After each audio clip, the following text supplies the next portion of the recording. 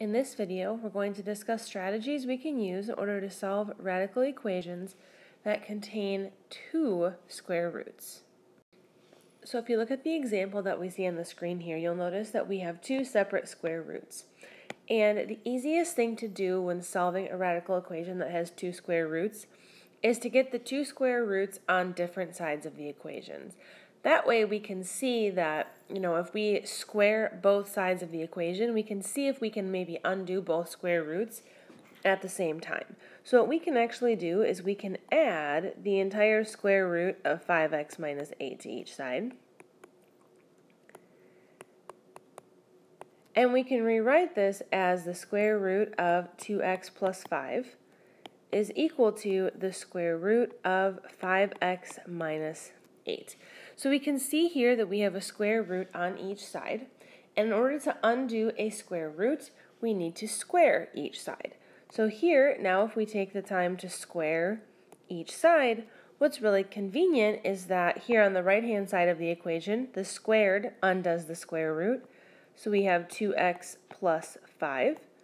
And here on the right-hand side of the equation, the squared also undoes the square root. So we have 5x minus 8. So you can see here that just by moving that one square root over and squaring both sides, we were able to undo both square roots simultaneously, which is really convenient. Now from here, all we need to do is solve this equation. So we can subtract 2x from each side.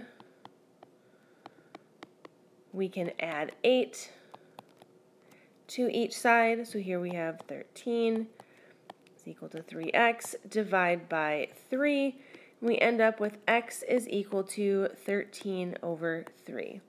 Now, remember that we always need to check our answers here and we need to confirm that these are in fact correct, that they do in fact work.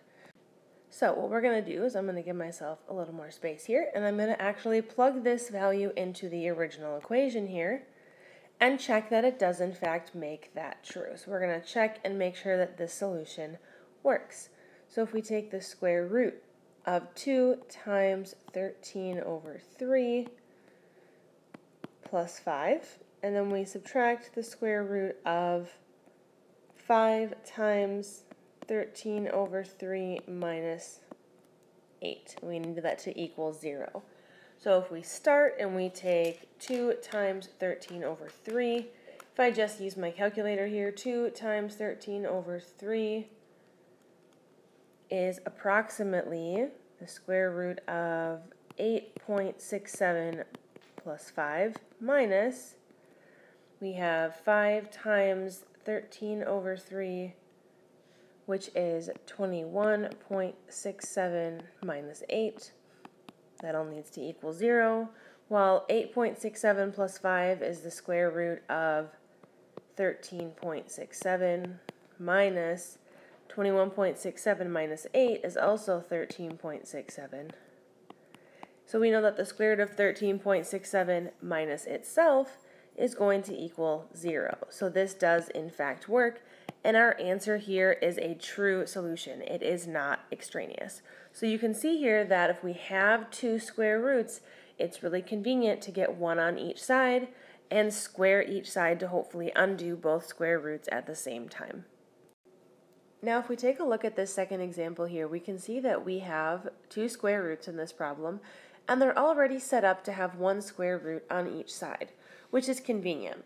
Now, what's not quite convenient is this addition of this negative 2 here. So we're going to have to see what happens when it's not just two square roots in a problem. It's two square roots and another integer. So we start off by squaring both sides to hopefully undo those two square roots. Now, here on the left-hand side, what I really have is the square root of x plus 6 minus 2 times itself. So it's square root of x plus 6 minus 2. So that's what's happening here on the left-hand side. On the right-hand side of the equation, the squared undoes the root here, so I'm just left with x minus 2. So that part is pretty convenient. Now, what I need to do from here is I actually need to distribute this out. So here we have the square root of x plus 6 times itself. Now remember, the square root of x plus 6 times itself is really like squaring it. So this first multiplication here is going to undo this square root, so it's going to become x plus 6. So that part's pretty convenient. Now this next multiplication here makes this minus 2 square roots of x plus 6. Then this multiplication here gives me minus 2 times the square root of x plus 6. And then negative 2 times negative 2 gives me a positive 4. So squaring on the left-hand side is a little bit messy because we have to use big distribution in order to do this. So we multiply everything in the first parenthesis by everything in the second. So if I start to simplify this out, I see that, okay, I can combine some like terms. So the x has to stay by itself, the 6 and the 4 can be combined together, so I have a plus 10. And then these actually have like square root parts, so I can combine the coefficients together to get minus 4 square root of x plus 6. And that's all equal to x minus 2. So this looks a little messy and it kind of looks like a lost cause, but believe it or not, it's actually going to be pretty simple to solve from here. So we started by squaring both sides, and while this got a little bit messy, um, we can move forward and actually solve this. So if we take a look at what's left in this problem, the most difficult part of this problem is this square root right here. But we know that in order to undo roots, we need to square. And in order to get that root undone, I need to get the root by itself and then square both sides. So that's exactly what I'm going to do. So I'm going to start off by subtracting 10 from both sides. So as I do that, I have x minus 4 times the square root of x plus 6 equals x minus 12. I then am going to subtract x from each side. As I do that, x's are gone, x's are gone. So I'm left with negative 4 square root of x plus 6 is equal to negative 12 because these x's are completely gone. Then I divide by a negative 4 and I end up with the square root of x plus 6 all by itself is equal to 3. So this is looking a lot better because I was able to get that square root that was remaining completely by itself. Now from here I need to square both sides to undo that square root. So as I do that, there's x plus 6 left on the left. On the right-hand side, I have 9. I subtract 6. And I end up with x is equal to 3. So if I have a solution here, and if it works, it's going to be x is equal to 3. So let's actually take a moment here and test this out to ensure that it does in fact work in our original equation. So we're going to take this original equation here, make sure it works, and ensure that that value is not extraneous.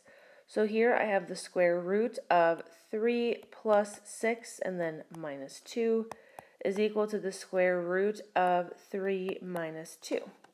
So this becomes the square root of 9 minus 2 is equal to the square root of 1. Square root of 9 is 3, so 3 minus 2 is equal to the square root of 1. So I get 1 is equal to 1, which is in fact correct. So that means that x equals 3 is a real solution that does in fact work and that it is not extraneous. So in this problem, we can see that even if we have a little bit extra in the problem, we just have to be careful with that big distribution, but we'll still be able to use our knowledge of squaring to undo the square root. We'll just have to do it two different times. Once to start and then once again down here when we got that additional square root by itself.